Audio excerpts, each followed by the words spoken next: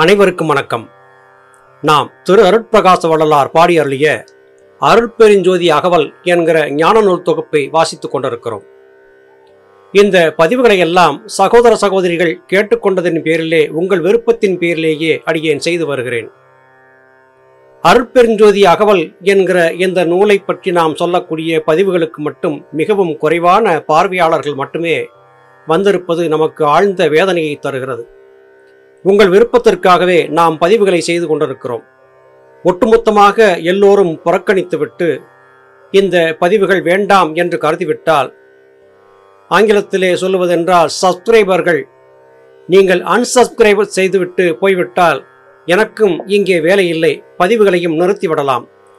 தயவு செய்து உங்களுக்காகவே மிகுந்த பிரயாசையோடு சிரமத்தை மேற்கொண்டு இந்த பதிவுகளை செய்து வரக்கூடிய இந்த எளியவனுடைய உழைப்பிற்கு மரியாதை கொடுங்கள் என்று உங்களிடத்திலே மன்றாடி கேட்டுக்கொள்கிறேன்.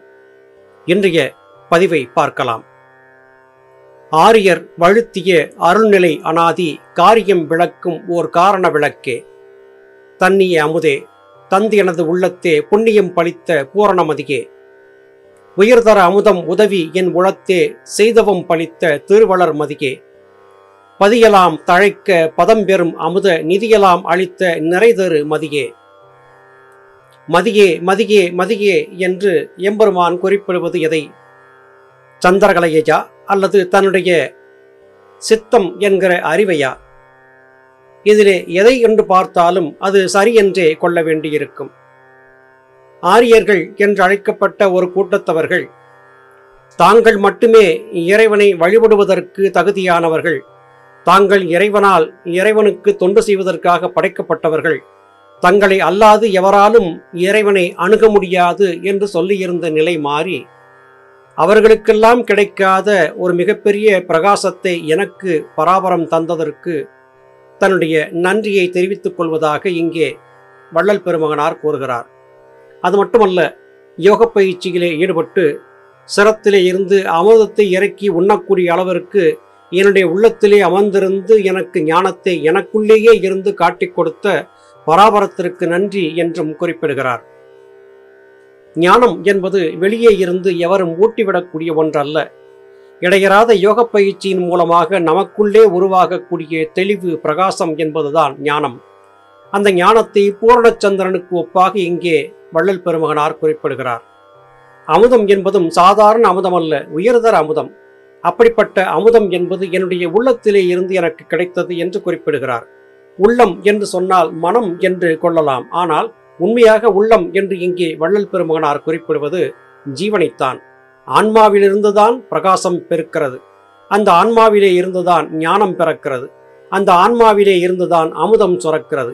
இது தான் செய்த தவத்தின் காரணமாக தனக்கு கிடைத்தது என்று குறிப்பிடுகிறார். அது மட்டுமல்ல இந்த உலகிலே இருக்கக்கூடிய அனைத்து உயிர்களும் உய்வதற்கும் பேறு பெறுவதற்கும் ஞானம் பெறுவதற்கும் எல்லா வகையான ஞானங்கள் முதலாகிய சகலத்தையும் அடைவதற்கும் பராபரத்தினுடைய அருள் எல்லோருக்கும் கிடைக்கும். அது சற்று முன்னதாக தனக்கு கிடைத்திருப்பதாக வள்ளல் பெருமகனார் குறிப்பிடுகிறார். இவை எல்லாவற்றுக்கும் காரணம் என்ன சொல்லுகிறார்? தான் செய்த கடுந்தவத்தின் விளைவாக இவை தனக்கு பரிசாக கொடுக்கப்பட்டன என்று சொல்லுகிறார். இதற்கு முன்பு நாம் பார்த்திருந்த பதிவுகளிலே இந்த யோக பயிற்சி செய்தபோது தனக்கு ஏற்பட்ட பலவிதமான உடற்துன்பங்களை பற்றி வள்ளல் பெருமகனார் குறிப்பிட்டிருந்தார் என்பது கவனிக்கத்தக்கது. கடுந்தவத்தை செய்து கடுமையான சோதனைகளை கடந்தான பிறகு தனக்கு அமுதம் கிடைத்தது என்று இங்கே பகிர்கிறார் எம்பெருமான். பாலென தன் கதிர் பரப்பி எஞ்ஞான்றும் மேல்வெளி விளங்க விளங்கிய மதியே உயங்கிய உள்ளமும் உயிரும் தழைத்திட வயங்கிய கருணை மழை பொழி மழையே. என்னையும் பணிகொண்டு என்னுளே நிரம்ப மன்னிய கருணை மழை பொழி மழையே. உளம் கொழும் எனக்கே உவகை மேற்பொங்கி வளம் கொள கருணை மழை பொழி மழையே. மழை என்று இங்கே குறிப்பிடுவது எதற்காக? பூமி என்பது வெப்பம் தாழாது வெடித்து போயிருக்கிறது. ஆகாயத்தை அண்ணாந்து பார்த்தபடியாக பூமித்தாய் காத்திருக்கிறாள். மேகம் கருவுறுகிறது. கருவுற்றதின் விளைவாக மழைப்பொழிவு ஏற்பட ஆரம்பிக்கிறது. மழைப்பொழிவு வந்தபோது விரிந்திருந்த பூமியின் வெடிப்புகள் எல்லாம் மாயமாக மறைந்து போகின்றன. அன்னை பூமித்தாய் மகிழ்ச்சி கொள்கிறாள். அதன் பிறகு பூமி செழிக்கிறது. பூமி செழிப்பதற்கும் தாவரங்கள் தழைத்து வளர்வதற்கும் நீராதாரங்கள் நீர்நிலைகள் பெருகுவதற்கும் உயிர்க்குளங்கள் பெருகுவதற்கும் தண்ணீரே ஆதாரமாக இருக்கிறது. ஆகாயத்திலிருந்து பொழியக்கூடிய மழை நீரை அமுத நீர் என்று எல்லோரும் குறிப்பிடுகிறார்கள். நாம் பார்த்து கொண்டிருக்கக்கூடிய வாழ்ந்து கொண்டிருக்கக்கூடிய இந்த ஆகாயத்திலிருந்து வரக்கூடிய மழைநீர் எப்படிப்பட்ட அதி உன்னதமான ஒரு பொருளாக இருக்கிறதோ அமுதத்துக்கு ஒப்பான ஒன்றாக இருக்கிறதோ அதுபோல நம்முடைய சரசாகிய ஆகாயத்திலே இருந்து பொழியக்கூடிய அமுதமழை என்பதும் அதற்கு நிகரானது. இன்னமும் சொல்லப்போனால் சிரத்திலே இருந்து பொழியக்கூடிய அமுத நீர் இப்போது நாம் பார்க்கும் ஆகாயத்திலிருந்து பொழியக்கூடிய மழைநீரை காட்டிலும் மேன்மையானது என்று தன்னுடைய அனுபவத்தை இங்கே வள்ளல் பெருமகனார் பதிவு செய்கிறார். பால் என தன் கதிர் பரப்பி மேல்வெளி விளங்க விளங்கிய மதி என்று சொல்லுவதால் வெண்மை நிறம் என்பதே இறுதியாக வள்ளல் பெருமகனார் கண்ட அதிசய பிரகாசம் என்றாகிறது. ஏழு நிறங்களை கொண்ட ஏழு திரைகள் உள்ளே இருந்தாலும் கூட இறுதியாக பிரகாசம் என்பது வெண்மை நிறமாகவே இருக்கிறது என்று குறிப்பிடுகிறார். இந்த வெண்மையை குறிக்கும் விதமாகவே வள்ளல் பெருமகனார் வெண்ணாடை உறுத்தியிருக்கிறார் சித்த வித்தியார்த்திகள் வெள்ளாடையே உறுத்த வேண்டும் என்பதாக ஞானபிதா சுவாமி சிவானந்த பரமஹம்சரும் இதற்காகவே அருளி செய்திருக்கிறார். வெண்மை நிறம் மட்டுமே உண்மையான நிறம் அந்த நிறம் மட்டுமே பராபரத்துடன் நம்மை இணைக்கக்கூடிய நிறம் என்பதாகவே மகான்கள் கருதியிருக்கிறார்கள். முடங்கி கிடந்த மனம் மேன்மை பெற்று மெல்ல மெல்ல தழைத்து அன்னை பராசக்தி என்றழைக்கப்படக்கூடிய சந்திரகலையின் உதவியால் கருணை மழை என்பது சிரத்திலே இருந்து இறங்கி வந்தது. அது காரணமாக அன்னை பராசக்தி என்னையும் பணிகொண்டாள் எனக்குள்ளே நிரம்பினாள். எனக்குள்ளே கருணை மழையை பொழிந்தால் அது காரணமாக நான் ஞானத்தை பெற்றேன் என்று சொல்லுகிறார். என்னுடைய மனம் குளிரும்படியாக என்னுடைய மனதிலே உவகையை மேற்கொள்ளும்படியாக என்னுடைய மனதிலே ஆனந்தம் மேற்கொள்ளும்படியாக அன்னை பராசக்தியாகிய ஜீவசக்தியாகிய வாயு தனக்கு உதவி இருக்கக்கூடிய அருமையை இங்கே வள்ளல் பெருமகனார் நமக்கு அறிவிக்கிறார். நலம் தர உடல் உயிர் நல்லறிவு எனக்கே மலர்ந்திட கருணை மழை பொழி மழையே. தூய்மையாள் எனது துரிசியலாம் நீக்கி நல் வாய்மையால் கருணை மழை பொழி மழையே. விம்மலை இரவது விடிதருணம் தனில் செம்மையில் குதித்து உளம் திகழ்ந்த செஞ்சுடரே. திரையலாம் தவிர்த்து செவ்வி உற்றாங்கே வரையலாம் விளங்க வயங்கு செஞ்சுடரே. பலவிதமான வார்த்தைகளால் பராபரத்தை வர்ணித்தாலும் கூட இன்னமும் அவருக்கு பராபரத்திற்கு செய்ய வேண்டிய கடமையை முடிக்காமல் இருப்பதாகவே தோன்றுகிறது. பழவகையாக வர்ணனைகளை செய்து வருகிறார். தன்னுடைய உடலுக்கு நலம் ஆரோக்கியம் உயிர் நலம் அறிவு நலம் ஆகியவற்றையெல்லாம் பராசக்தி தனக்கு முழுமையாக கொடுத்தாள் என்று குறிப்பிடுகிறார். அது மட்டுமல்ல தூய்மை என்கிற ஒன்று ஏற்பட்டதின் காரணமாக எனக்குள்ளே இருந்த கர்மவினைகள் எல்லாம் தீர்ந்து போயின. தூய்மை என்பது எது? மனதால் சொல்லால் செயலால் தன்னுடைய வாய்மையால்.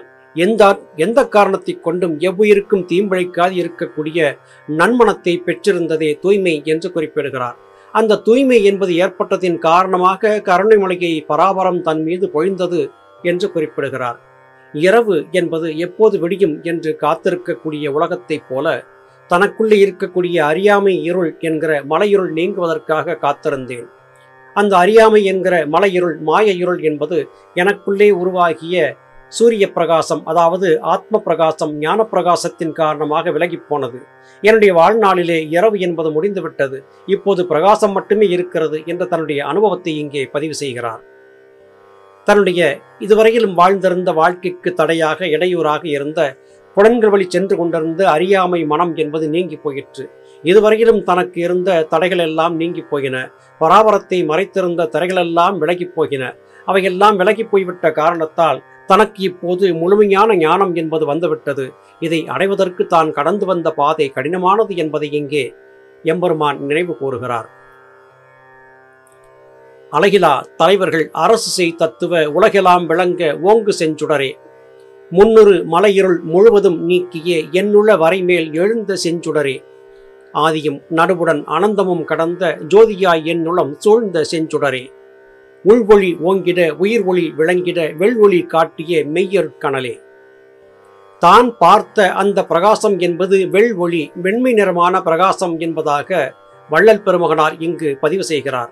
இந்த உலகிலே எண்ணற்ற கோடிக்கணக்கான தலைவர்கள் வந்து செய்து போய்விட்டார்கள். இந்த தலைவர்கள் எல்லாம் ஞானரசாட்சி இந்த புவிப்பந்திலே செய்து வந்தார்கள். எண்ணற்ற மகான்கள் சித்தர்கள் ஞானிகள் வந்து இந்த உலகிலே வாழ்ந்து சென்றிருந்தாலும் கூட அவர்களுக்கும் கூட கிடைத்திருக்காத மிகப்பெரிய பேறு தனக்கு கிடைத்திருப்பதாக இங்கே தைரியமாக சொல்லுகிறார் வள்ளல் பெருமகனார்.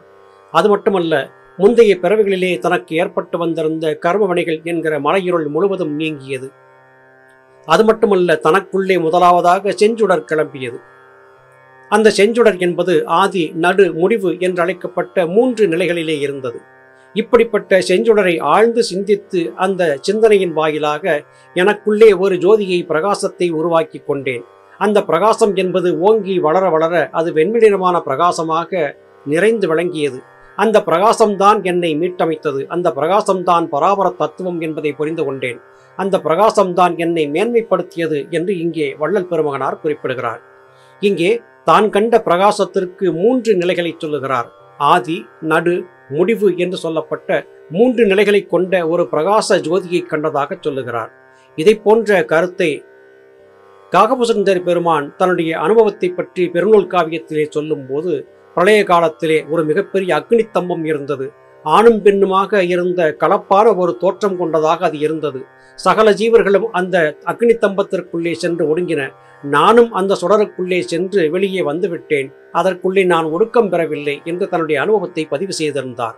அங்கே காகபுசந்தர் பெருமான் சொல்லியிருந்த அந்த அக்னி தம்பம் என்பது தலை நடுப்பகுதி பாதம் என்றழைக்கப்பட்ட மூன்று நிலைகளை கொண்டிருந்தது. அதுபோல தான் கண்ட பிரகாசமும் ஆதி நடு முடிவு என்கிற மூன்று நிலைகளை கொண்டிருந்ததாக வள்ளல் பெருமகனார் இங்கு பதிவு செய்கிறார். இதை கொண்டு பார்க்கும்போது ஞானிகள் அனைவரும் சந்தித்த கண்டறிந்த தத்துவம் என்பது ஒரே மாதிரியாகத்தான் இருக்கிறது என்கிற உறுதியான முடிவுக்கு நாம் வந்துவிட முடியும். மீண்டும் அடுத்த பதிவிலே உங்களை சந்திக்கிறேன். அதுவரையிலும் நன்றி வணக்கம்.